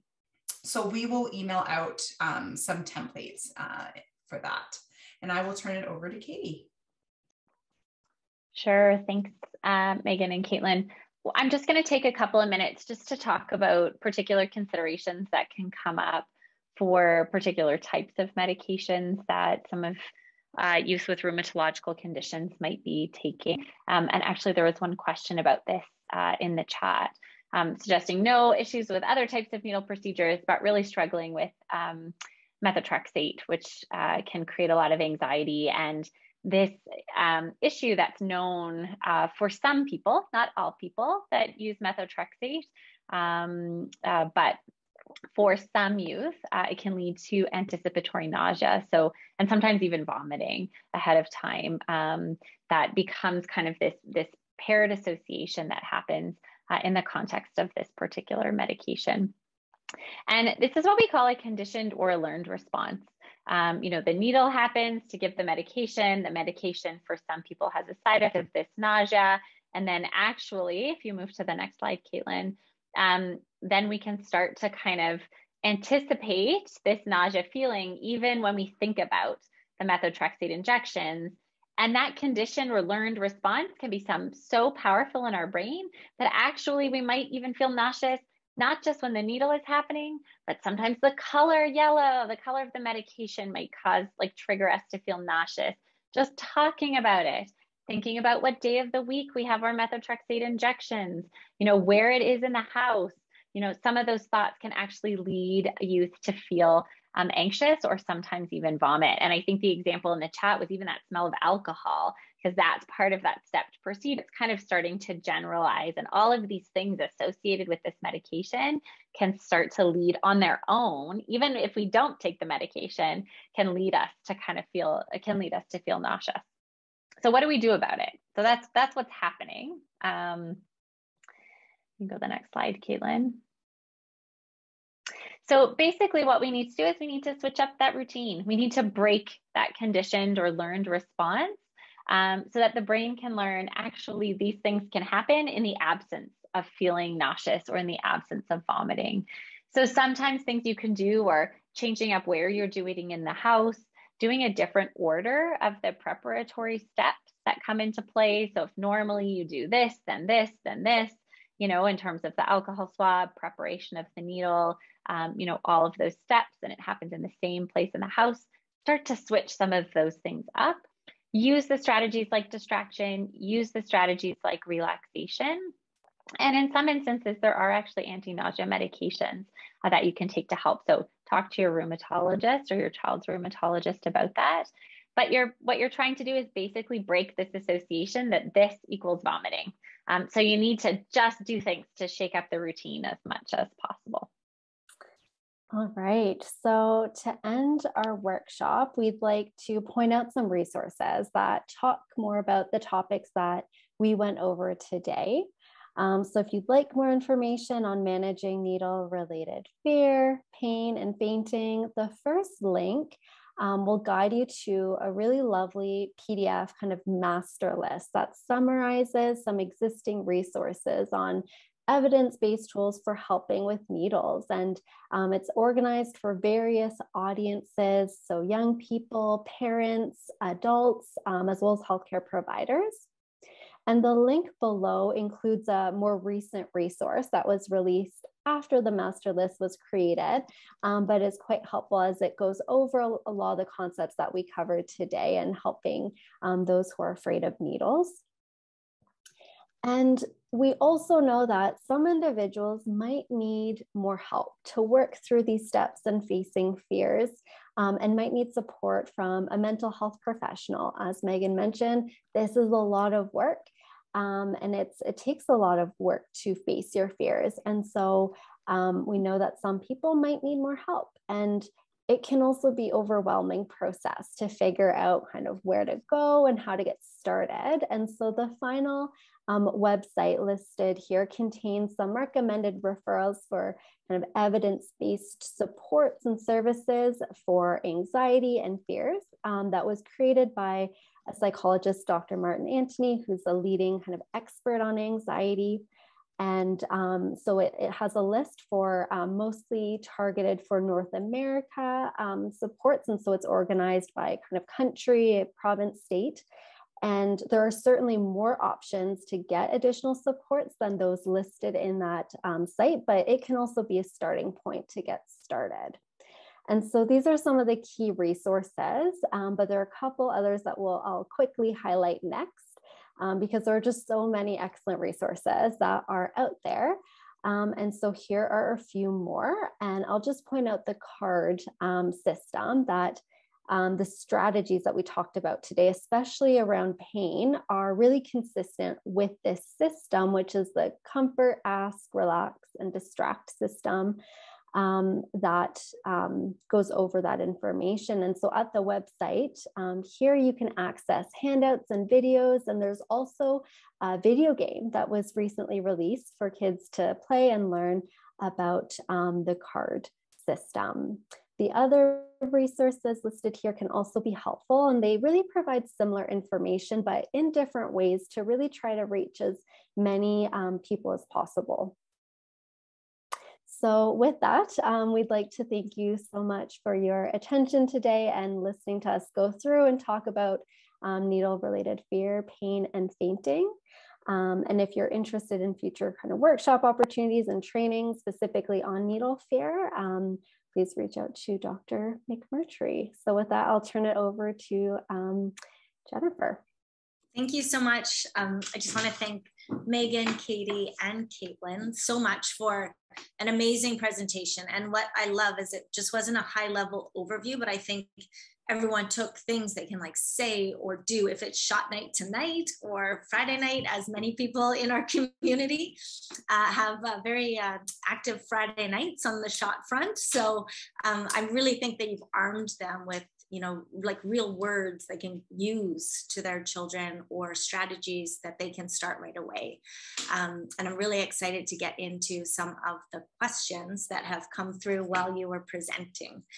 Um, so I think for the first one, um, there was a question from Krista, and um, I think Meghan, maybe you could answer this one, um, but it's just about like how how young is a fear of needle encountered? Like where do, where does this start? And she gave an example of like a baby with the first poke. Yeah, that's a great question. So um, the researcher in me says we don't have the best research around this um, because often what we're what we're doing is we're um, we're either following uh, kids having negative experiences, and we absolutely do know from negative experiences come needle fears for sure. And we also have um, some studies that are with adults saying, like, when did you first develop your fear of needles? And then they have to try to remember when that happened. So we actually need better research on exactly when this can kind of happen. We do know that babies have physiological memories um, that can create um, situations where previous negative experiences then lead to future negative experiences for them. So let me give you an example. Anna Taddio showed that when baby boys were circumcised without analgesic, without any pain medications, um, they showed more behavioral distress six months later at their vaccinations. Okay, so those babies can't tell us that they're afraid, but their body is reacting in a way that is different than than um, babies that were able to receive pain medications. So it's really important right from the get go um, that we try to have um, pain management in place. Needle fears tend we the best estimate right now is that severe needle fears tend to develop somewhere between five and seven years of age um, I suspect that younger kids also may have them, but it's it's just a different ball game and trying to understand exactly what's kind of going on um, with them and their ability to really describe is more limited. I know for myself, um, when we were doing our national um, pain and, and fear guidelines that Katie was also involved in, I had um, my son at the time was a was a nursing infant. Mm, no, maybe he was a bit older at that time. He at one point he started waving bye bye at like I think about 18 months. He started waving bye bye to our pediatrician as soon as he walked in, or as soon as I carried him in um, to the office. He was like bye bye bye bye bye bye because he did not want to be anywhere near her because of the because of the needle. And i thought oh boy like I, i'm really trying with the pain management strategies. He always had them. And yet still he's showing some kind of needle fear to me. Um, and so i was trying to address it. So that was a very long-winded way of saying um, physiological memories for sure um, can form very early on.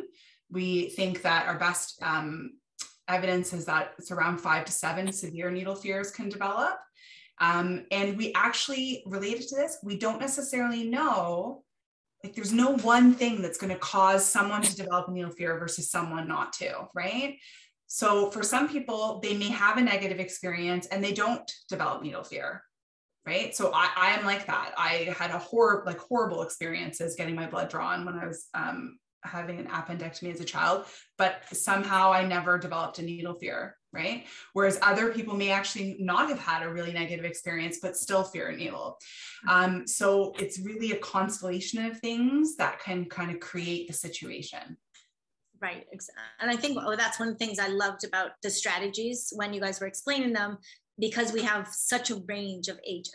Like obviously there's toddlers diagnosed with rheumatic conditions and then there's 13 14 year olds diagnosed. And so the strategy seemed to me easily like applicable at a young age and even for a teenager and they could take more control in it um, another question that we had, um, and I think maybe Katie, um, just given that you worked with the rheumatology team closely at Alberta Children's Hospital, um, there were a couple people who asked about sedation. So the recommendation of sedating either a very resistant child or maybe a young child, and what is your experience and recommendations around that?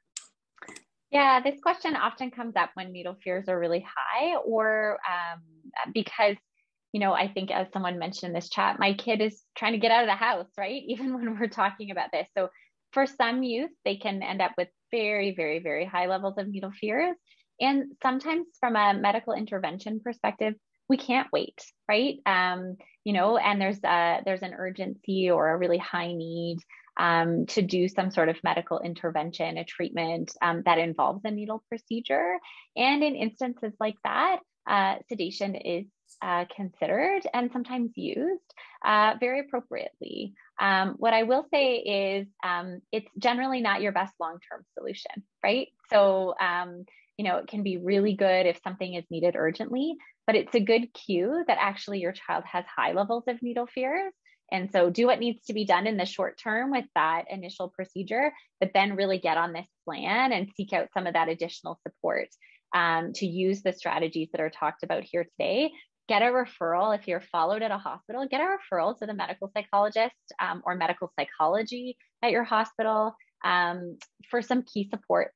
Uh, so certainly in my um, previous role at alberta children's and the psychologist is there now um, and at other hospitals across the country uh, are very well versed in managing needle fears and so at that high level it can be really nice to um, have some professional help on board uh, to support your family uh, to manage that. So, you know, if that's what needs to happen in the short term, that's what you do, right? Your child's health is, you know, the most important thing, and that's okay. And and um, you know, ask about it, but just make that plan for longer term because uh, you don't want to end up in a position um, where your child needs to be sedated, you know, for a blood draw, right? And when that's something that might be an ongoing requirement to to manage their disease or or monitor monitor their medications, or if you end up in a situation where you need to take a medication or your child needs to take a medication that requires a needle procedure and sedation is just not possible, right, on that continuous kind of basis.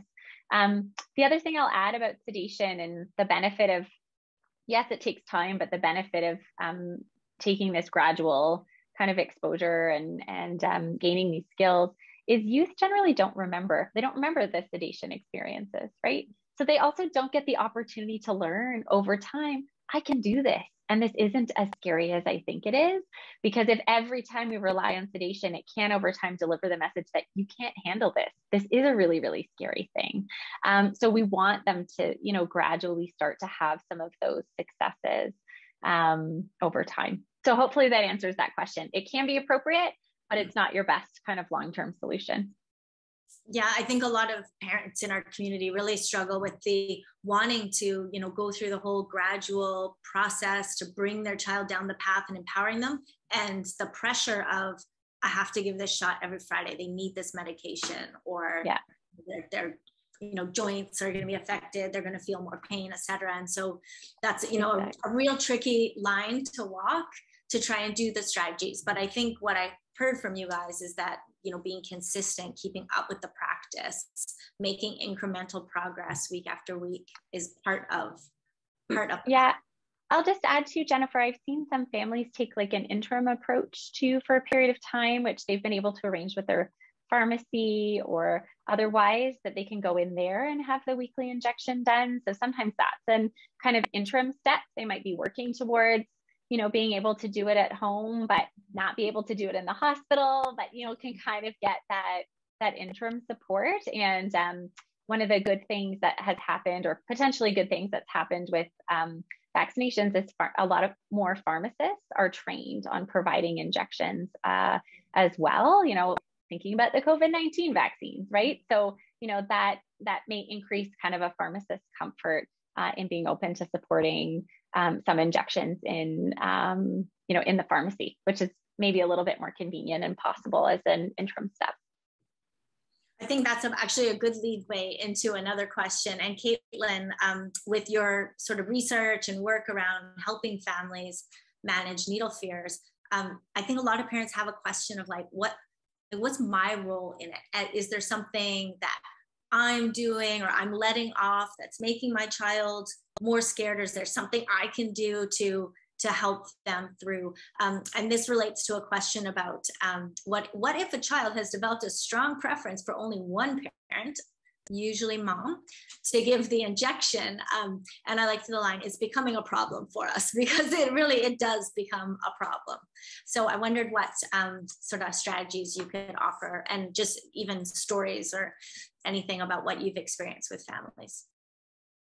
Yeah so those are great questions and i i'll first say that i think everyone is doing their best with you know supporting um, your you know children with with these experiences with the information that they know with the skills that they have and we've talked about you know some things that are helpful to avoid during the procedure and during kind of brave practicing and that though there's a real urge and it's common to want to say certain things because like reassurance because we want to provide comfort. We don't like to see kids in pain and kids feeling afraid. So it's natural that um, some of these tools that we're talking about feel like counter counterintuitive to say don't reassure repeatedly. You know avoid saying things like it'll be okay because often those are things that can be really kind of automatic when um, when supporting um, a child. And for some kids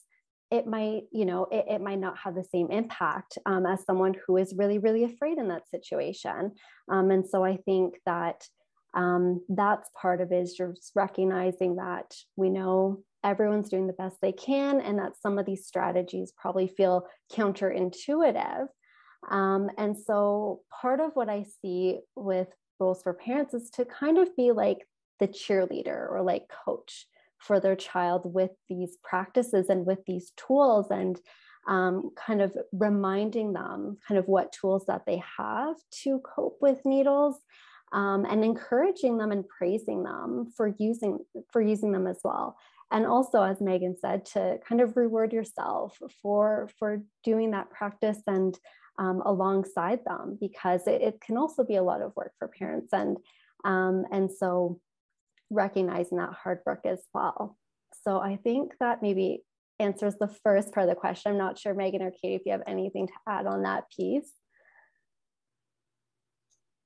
I don't I don't remember what the first versus the second part was, but I, I do if we talk about are you going to speak directly about for that parent who's who's the one who's in charge of doing all of the injections? Are you going to speak to that piece? Right. Okay. Yes, I was going to ask what the second part was. Um, so I guess I would be curious to know um, the reasons that maybe one parent might be preferred over the other, because I think that that could maybe be incorporated too into the practice. Is that um, maybe practicing a small step with having another parent maybe prepare the medication or be present to just talk about the needles and in small steps to um, to, to do things differently because I wonder because um, yeah, I, I, would want to know a bit more about okay, so what is it about being with one parent? Does it make you feel more safe? And does it maybe serve as one of those safety behaviors that we talked about that this only feels safe right now because I have,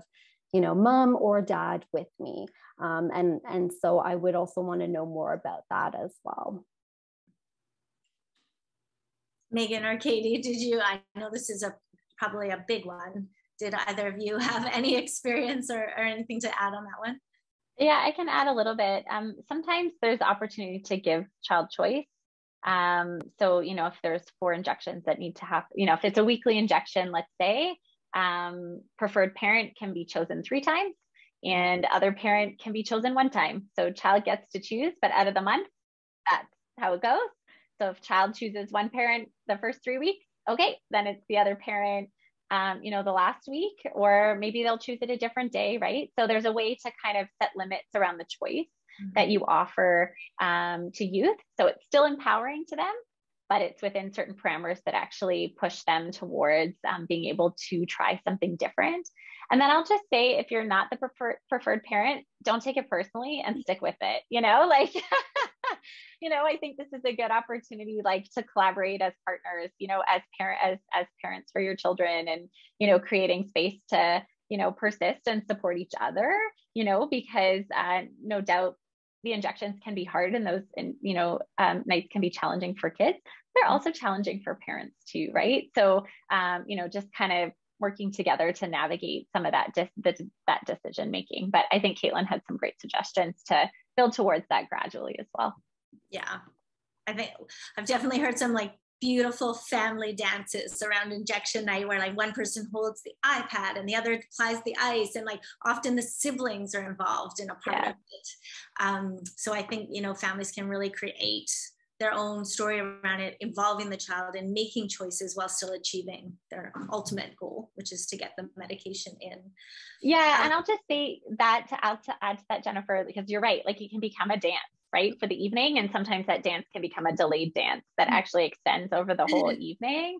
So I'll just reiterate kind of my point about you know you can create choice, but you can set limits around mm-hmm. choice for children too and have kind of natural consequences or have rewards built in um, to be able to do things within that parameter so sometimes we can give too much choice um, especially when fear is present for the child to say i need to be ready i need to have all of these things right and that can lead to a lot of delay so you know it's okay as a parent to set some limits around you know are you going to do it this way or this way we're doing it regardless mm-hmm. you know, but here's some very appropriate choice um, that gives them a little bit of autonomy, but still sets the stage. Um, you know, you're you continue to be the parent, right? And so that's okay, even though it's something that can be distressing and it's something you prefer your child not have to go through. Um, but you still you know can can put some of those things in that you might for other behaviors you expect your child to do in other aspects of their life. So i just want to permission give to parents that it's okay to parent you know and and put some of those parameters in this context too and actually can support your child. Sometimes when we take all expectations um, as parents off the table it's kind of like reassurance kind of inadvertently communicates to the kid that like this is something mom and dad are scared about too, um, because they have expectations and limits around my, you know, screen time or around my homework or around, you know, my table manners at the dinner table. But with this, all bets are off. I can do kind of, you know, I can run the show. So it's it's also okay to that those parameters, even if your child says, I hate this, I hate you for this, actually do create a sense of kind of security, stability, you know, and communicate that confidence and expectation that this is something you know your child can do. Mm-hmm. Yeah, that's, that's such a good answer. I mean, both lovely answers. And I just, I love the giving permission and setting structure and, you know, so important. And I think um, when considering where you're at, remembering that it doesn't, what's happening now doesn't have to be always what's happening, right? So think about where you want to go, and even small changes can get you there over time, right? But I think it's really important when I found when working with parents to also think about their own values and what they want for their child, right? Um, and so that's going to differ depending on the child's age, but usually, like you know age appropriate independence on things right? And the fact that you know whoever is the preferred parent giving the injection can't always be there right? Um, needs to also have be able to do things. Um, and so yes your own values for your own life but also what do you want for your child over time right? And when you act consistently with that that's really rewarding right? Um, and it, it's not a punishment um, for the child. It's actually it's a fact of life that they they need right? And i love the, the sort of security around clear expectations um, and choice that feels okay for the family because what is okay within families differs across families. And so you know parents are doing the very best they can um, at any given point and they know their their child the best and they know what's acceptable within their family and what isn't. And so what we're here to do is give permission to say like if that's not acceptable in other contexts it doesn't have to be acceptable here mm-hmm. either. Right um, I'm going to keep you talking, Meghan, actually, because we're sort of on the same um, vein. But we actually have not just parents, but youth um, on uh, line as well. And um, one youth uh, shared their own experience that the zero to 10 scale rating, they actually found it really annoying. And it was a, a hard way for them to relate how they were feeling. And I think you know you guys have reiterated throughout that you got to kind of make it your own mm-hmm. um, but i wondered if you've encountered other useful ranking methods that people have used um, for some ideas for parents and then also maybe even just like when you're noticing resistance around like probably everyone's going to create their awesome plan and hope their kids are going to love it um, but like how to like just keep sensitive to the plan's not working as written and you got to be flexible Right. Okay. So for the first part, um, I would say so for certainly for younger children, this is a different issue than, and I appreciate what was raised. Like so helpful. I'd love to know what they ended up doing. But, um, and so maybe they can put that in the chat. But uh, for younger kids, we often use like a faces scale so that you're pointing to the face rather than having to like grapple with numbers. Um, and there's a free scale um, that's available that's used around fear um, for that um, people sometimes use zero to 100 but what's the point of all this right? Like what are we actually trying to do? I think like getting to that right? So if you want to use colors to indicate like the, the amount of fear the point is that you're wanting to understand is something like not at all fear inducing? A little bit a medium amount a lot or like oh i don't even want to think about this this is so horrifying right? So however you can kind of order that perfect the numbers just get you to that, right? And so then it's like, is it, did it go from, say, a, I don't know, purple being high to um, maybe black means that it's a lower fear? I don't know, right? So they could come up with a color scheme or whatever it is, but some way of communicating, hey, my fear has gone down, you know, in this situation, right? Um, so that's really kind of what what matters. Um, and I would love to hear like creative um, options for that. And so, you know, feel free to jump in, um, Katie or Kaytlin, if you if you have other um, ideas there too. Oh, I was just gonna say, you know, my I have a child who has, you know, been in is in elementary school, and they also learn about other things like maybe familiar to some parents, the zones of regulation. Is are you in the green zone, the yellow zone, or the red zone of emotions, right? Even something as simple as that you know, getting from the the red zone is the high fear now i'm in the yellow zone you know even seeing that change or i'm now in the green zone that's calm like if your child's using something like that in other areas of their life also applies here right it's just getting as Meghan said it's just getting at the amount of fear in some way right yeah I remember and the one- amount matters because you don't want to throw them in in the deep end, right? Like this yeah. isn't what used to be called flooding, right? So I'm terrified of spiders. I had a dream about a tarantula like earlier in the week if I wanted to face my fear around spiders, if I was doing flooding, I would lock myself in a closet with a bunch of tarantulas. Mm-hmm. That's horrifying. Like that may eventually get my fear down, but like I wouldn't want to do that to anybody, right? Mm-hmm. It's too much at once, right? Whereas what we're talking about is sort of smaller steps so that we have to have some way of being able to make those steps and figure out where we should start. And that's what the reading is about. I remember when mom was uh, sharing about her strategies with her teenage son who'd kind of gone into like that teen just kind of grunting stage. and she said that, that words were not the right way for them, but they just found like a kind of gradual thumbs up to thumbs down. Perfect. Was something Perfect. that they could do. And he was, you know, happy to give her the thumbs up, thumbs down, or in between. So yeah, it's really just finding what what works for them in the expression of that. Um, Kaytlin, uh, a parent had a really good uh, question around the muscle tension technique that you shared. And they were asking about um, like, how would you describe to a child, maybe they're thinking of a younger child, but like to tense and release their muscles if they're not familiar with that anatomy and, and that sort of structure? Mm-hmm. Yeah, so that's a great question. And I might also um, have Meghan jump in with more details um, as well.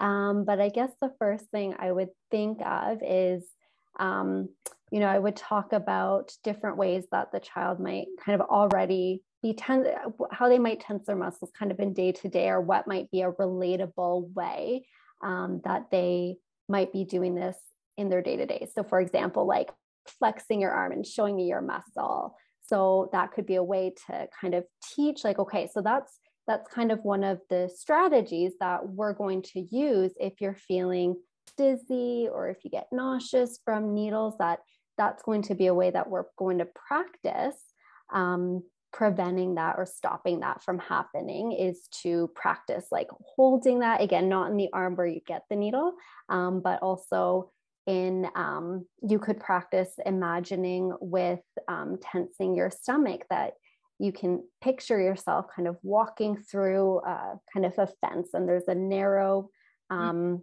slit that you're walking through so you need to really bring in your stomach and tense that stomach um, to to practice and hold that for a few seconds and then just let it go and then you alternate um, with with the muscles or you practice with the muscles until that feeling passes. But I'd be curious to know if Meghan or Katie, if either you have other ideas around that.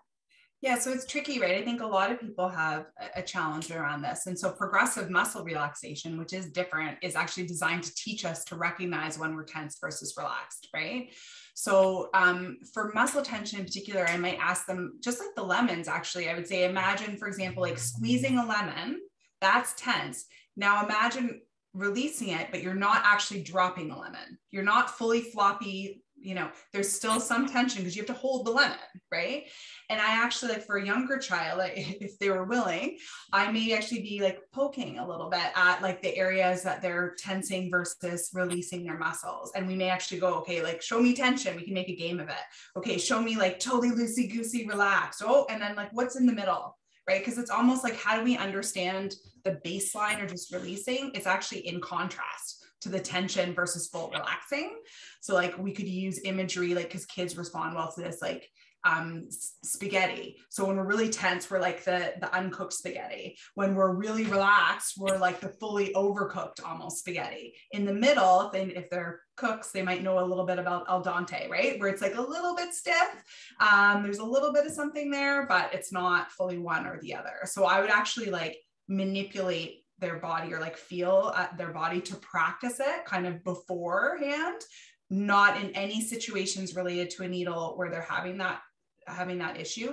First just learn the technique in a in a very um like easy sort of situation if that makes sense.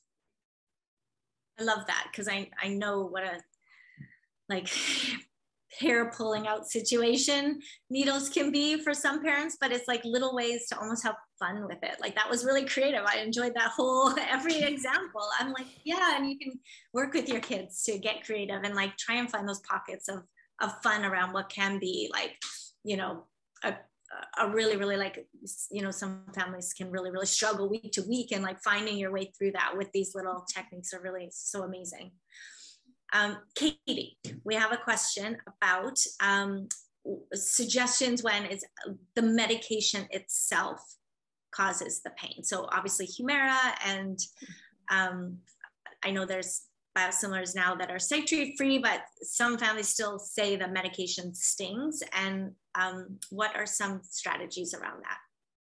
Yeah, I would say some of the pain management strategies still really apply. And you're right, there are certain medications that it's actually the medication that is is kind of painful and not the needle itself.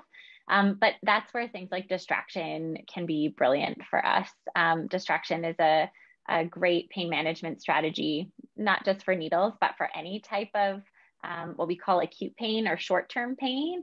Um, and so all those examples that I gave, you know, watching a video, listening to music, um, you know, taking some deep breaths. Someone mentioned the virtual reality goggles, you know, like um, having a conversation, like any of those things can be really helpful to just help you ride out that period of time, um, you know, until um, till that that pain or that stinging sensation goes away. Um, and again, that's one of those pieces where when you talk about it, um, you know, again, the same principles of how you respond as a parent, right? Not saying, oh, this is not going to sting or this is not going to hurt. If it is something that is known about the medication or your child has experienced in the past, instead build that into your coping plan. You know, we know this is a piece of it. Here's why we take these medications, but here's what we're going to do to cope. Right. right. Here's what we're going to do to get through it. And, um, you know, building in those, all those other strategies still um, really apply. Uh, we have one last question and then you guys are free to go for the night. Um, because all of our kids grow up and become amazing young adults, I just wanted to ask, do all of these principles apply to self-injection? And is there anything you'd add?